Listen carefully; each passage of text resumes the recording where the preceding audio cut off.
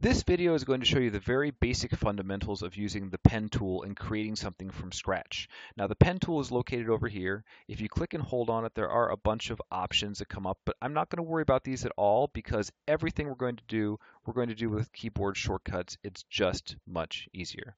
Now their default, you should have auto add and delete checked. We'll talk about that in a second. And you'll probably have rubber band checked. That's fine. Just leave it that way. Now what we're going to do is we're going to create a shape, just showing you how to use the tool. I'm going to create the shape on a new layer. So right now I just have the background, which is full of white. If I click the new layer button, I get a new layer but layer, and you can see that this checker pattern is here. That means there is nothing. It is clear like glass. So I'm going to double click this, and I'm going to name this layer practice. And you will want to do that as well. This is the habit you want to get into. Now, what I'm going to do is I'm going to come over here onto the paths because we're going to create a path with the pen tool. That's what it's for. Paths are like blueprints. There's nothing there right now because I haven't created anything. So what I'm going to do with the pen tool is I'm going to click, and every time I click, it creates an anchor which the lines are anchored to, and I'm going to create a square. You will notice when I come back to my first one that I get a small circle icon next to my pen tool. This means that I am closing the shape and completing it. So I click on that. I now have a square, and now my paths up here, you can see that my work path is a square. Now what do I do to this? Well, if I hover over the anchor, you can see that I get a minus. If I click on it, the anchor goes away. I'm going to undo that, Command or Control Z. This is why we have auto add and delete. If I click here on the line, you can see it turns into a plus. That means when I click on it, it will add an anchor.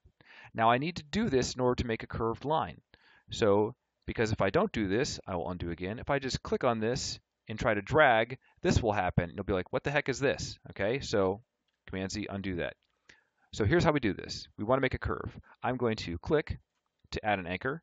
I'm now going to hold down my Command or Control button, and you can see I get a small white arrow. This is called a direct select tool, which is actually right here, but the shortcut is just so much easier than changing it. Hold down my Command Control key, click on that anchor, drag it out, I get a curve. These are called handles. If I click and drag on the handles, I can bend the line. Think like a crowbar in a garden hose. I know there's really no good analogy for that, but that's the best I can think of. I can also stretch this out, but you can see that it manipulates the shape of the line. We'll get there in a second. So I'm going to bend this into a nice smooth curve. I come over here, remember my default with holding nothing down, I get the plus, add an anchor, hold down my command control, click on the anchor, drag it out, click on the handles, adjust them into a nice smooth curve. Awesome. Okay, we'll do that one more time. Click add an anchor, hold down command control, bend it in, stretch those out, click add an anchor, command control, bend this in, stretch this out, Okay, so so far so good. We had this weird sort of axe, double-bladed axe shape, and you can see that's up there in the path. Now, I'm going to make this dent in. So I'm going to click add an anchor, click add an anchor, hold down Command Control, grab that middle anchor, bend it in. And this is well and good, but let's just say that I want this corner to be sharp, like this corner is a sharp turn rather than a curved turn. This is where our second keyboard comes in. I hold down the Alt Option key. This turns into an arrow. Okay, Alt Option key turns into an arrow. Now, when I grab this handle, it changes this to a sharp corner. If I don't do that, if I just hold down the Command Control key, it keeps the corner curved. So, Alt Option key changes that to a sharp corner. Now, just so you know, if I hold down my Alt Option key and click on this anchor, it changes it from this smooth curve into, you guessed it, a sharp corner. Command Control button, and you can see there's a sharp corner rather than a curve. So let's try this again.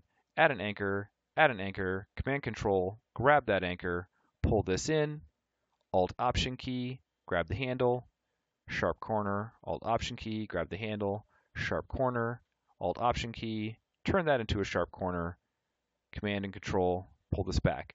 I know it's kind of weird, but it's kind of like learning a new video game control. You just have to do it a little bit to make it work. Now, to make this into a letter, I know it looks like an X or something like that right now, but this is just sort of the final step. You can see my path I have up here. Down at the bottom of my paths, there's a small dotted button, circle. I click on that. And it turns this into a selection. You see these, these are called marching ants for a good reason, okay? The marching ants makes it a selection. I go back to my layers. I am on my practice layer. I come over here. You see these three dotted lines. I'll click on this. Your default thing will give you a paint bucket. I'm on black, which is fine. I click on that. There's my shape. I hold Command D for deselect, and bang, that sucker is ready. It's on its own layer, and we can now move this around, and we're ready to roll. Basic skills.